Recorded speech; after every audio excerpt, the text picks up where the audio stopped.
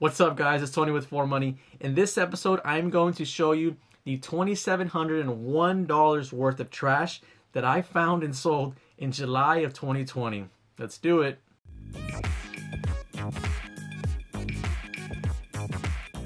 If you're new to the channel, welcome and thanks for stopping by. And if you're new to the series, I highly recommend you go check out the intro to Curbside Treasure 2020 where you can kind of get caught up on what's going on here. So these neighborhoods that I was going after, they have their bulk trash pickup at the same time that they have their normal trash pickup. Now this neighborhood that I'm showing you right here, you have to call the city for them to come pick up your bulk trash. But the neighborhoods that I was going after, they put bulk trash out every time they put out their normal trash. So it was easier for me to find stuff like this. I'm gonna highlight my favorite item and I'm even gonna show you some items that I kept and some that I gave away. Okay, this first group of items is all golf related. As a golfer, it really hurt to find these, but it also felt good to save them from a landfill and it felt even better to sell them. We had $227 in golf sales in these four pictures right here. We've got this Callaway driver that sold for 57, this TaylorMade driver that sold for 50, this TaylorMade putter that sold for 60, and this full set of golf clubs that sold for 60. To me, finding golf stuff was incredible. So the total distance from my house to these neighborhoods back to my house was about 30 miles total round trip. So I spent about $60 per month just driving around. All right, so this month we had $100 worth of sales in electronics. These two Dell monitors, when I found them, I thought they were broken. For sure were not gonna work. They ended up working. I tested them out. 100 bucks sold in a few days. People were starting to work from home, so this one made total sense. 100 bucks for these. And these TVs, I started picking them up thinking, man, this was a gold mine. Turns out when somebody throws a TV out, it's because it's trash. So I ended up just making a video destroying TVs because these had no value whatsoever other than throwing them in the trash or making a video destroying them. Up next, we have our furniture category. We had $469 worth of furniture. We had this breakfast table that my wife really loved but I sold it for 100 bucks. We had this executive chair that sold for 50. We had these three bar stools that sold for 20 bucks. They took way too long, but they did sell. And then we had this office chair. I didn't really pick up many more after this. This one sold for 14 bucks. And then next, we have this Bombay entry table that's sold on eBay for 220 bucks. After shipping and fees, the profit on this one was 130. I found and sold this broken table for 40 bucks. The top of it was actually pretty good, but the legs were not in great shape.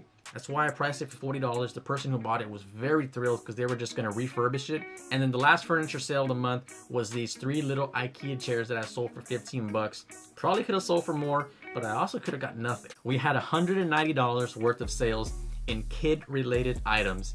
This John Deere little tractor sold for $90. I actually posted it for 74 and people were offering me more just to hold it for them. It was not my intent to sell it for more, but the demand drove the price up. This little Tikes car sold for 20. This little IKEA table with four chairs sold for $22. And this high chair right here sold for 20 bucks. And this Minnie Mouse bed sold for $10. I didn't think that one was gonna sell for that cheap, but it took too long to sell, so I just kept dropping the price.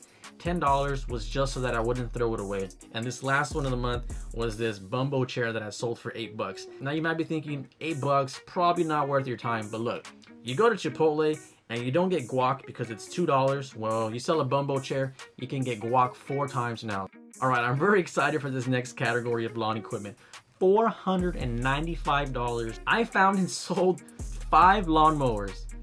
Five lawnmowers. I could not believe it when I pulled up to any house and I saw a lawnmower on the curb. And every single lawnmower, the issue was a dirty carburetor. And that was it. And I wanted to make sure these things worked. So I took the carburetor out, I sprayed the intake, sprayed the carburetor, put fresh gas in it, started them all, and with each lawnmower sale, I made sure to cut my own yard with them first. So I knew they were in great condition, and I told everybody, if it doesn't work for some reason, just bring it back. and not a single return in lawnmowers the entire year. I also found these two pressure washers, the same issue as the lawnmower, a dirty carburetor. And this last picture here is these two weed eaters that I sold to the guy who bought the green John Deere mower that I just showed you. Up next, we have these two dryers. I picked them up thinking it was a washer dryer combination. These sold for 90 bucks.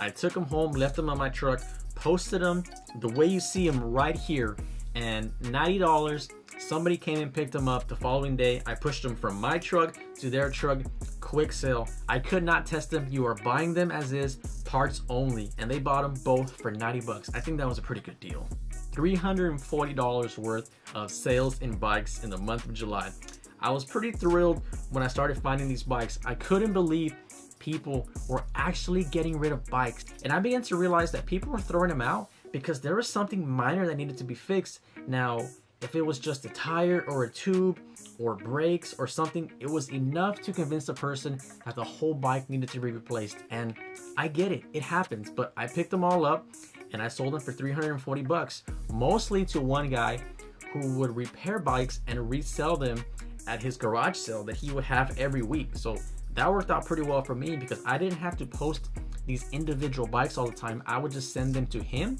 and he'd come by and pick them up. I wish I could say I was the only person out there finding stuff, but there was competition. Guys with bigger trucks, guys with flatbeds, Suburbans, HitTracs.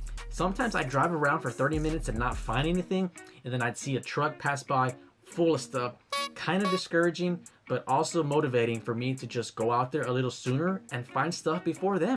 I could tell you where I'm going, the time to go, the streets to drive through, and you might not find something.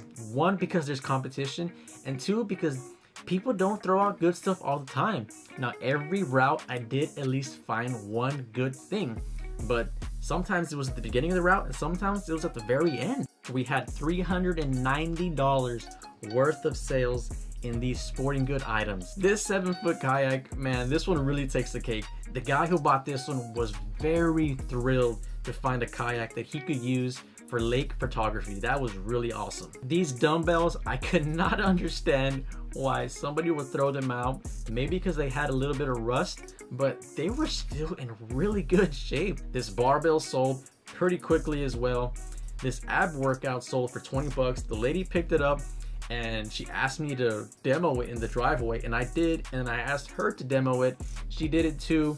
I told her to follow up with me in a month. She came by two months later to my garage sale and said, hey, I still have that workout thing. I have not done it, but I plan to soon. This Gold's Gym aerobic step sold for 20 bucks. And finally, this elliptical here sold for $110.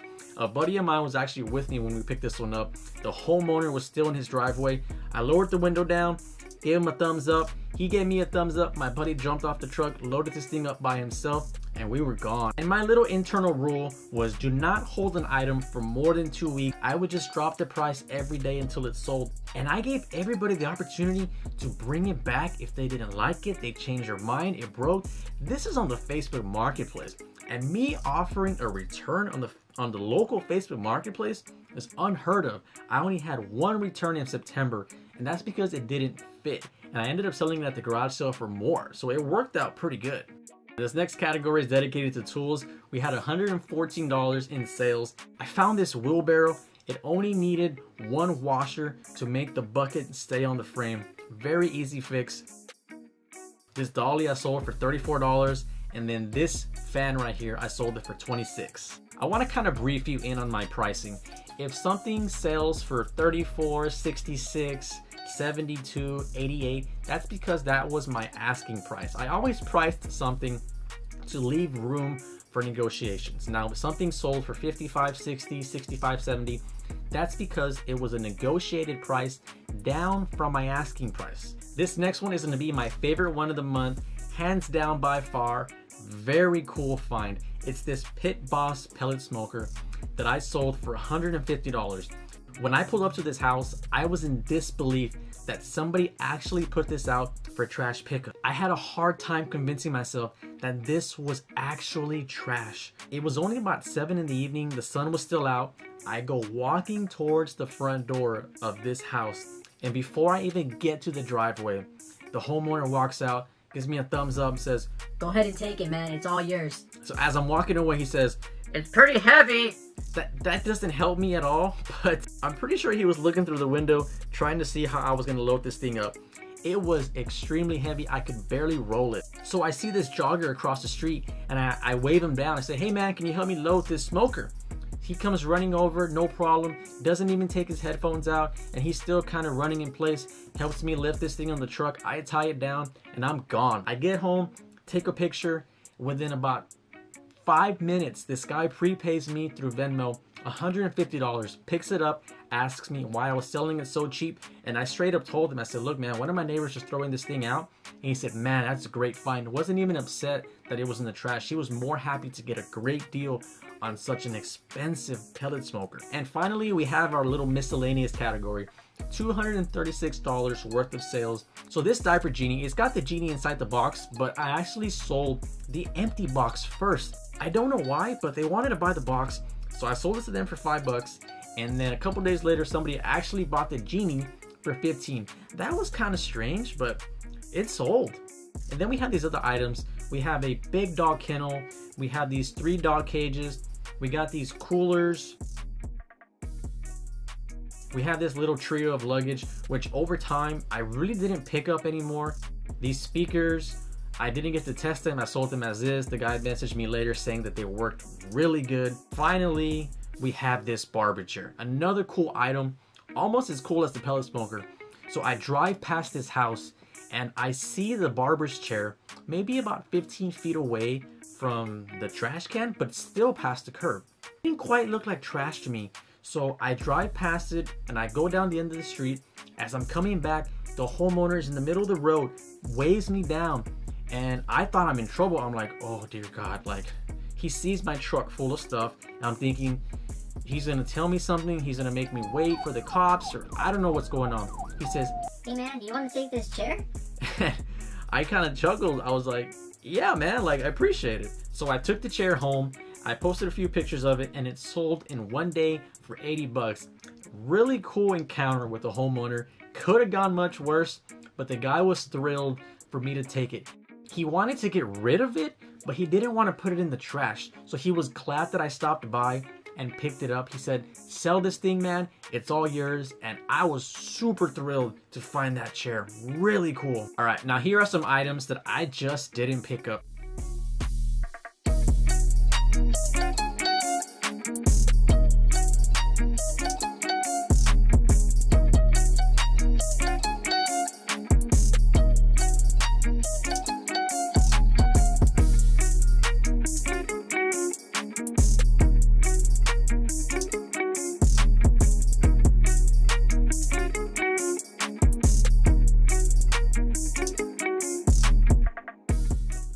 We have a few items that I just gave away.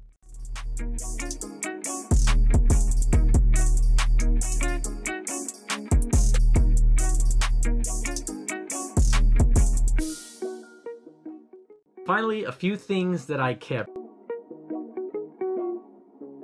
Very, very nice table that I probably could have sold for 100 bucks, but I'm glad I kept it. And this was another one that I had an experience with a homeowner. So I pull up to this house and I see it there on the curb and I start picking it up and it's extremely heavy. The homeowner comes running out of the house like in full sprint. and said, wait, wait, wait, wait, wait, wait, wait. And I just like froze. I said, I'm sorry, I thought it was trash. He said, no, no, no, no, no, it is trash, but be careful. The top glass comes off. I was like, oh my God. Man, my heart was racing. I thought, this guy is about to beat me up for taking something from his curb. So I take it home and we still have it right now. We use it almost every day. Now from July through December, not very often did a house put something good out and then put something good out again. It was just like a one-off instance where they would get rid of something really good. My whole objective of ForeMoney is flip to fund your passion. I buy and sell stuff to one, buy more stuff to sell, and two, to play golf. To me, every time I go play golf or go to the range, from selling an elliptical or dumbbells or a lawnmower, using that money to fund my passion is really cool. All right, guys, we'll see you in the August episode.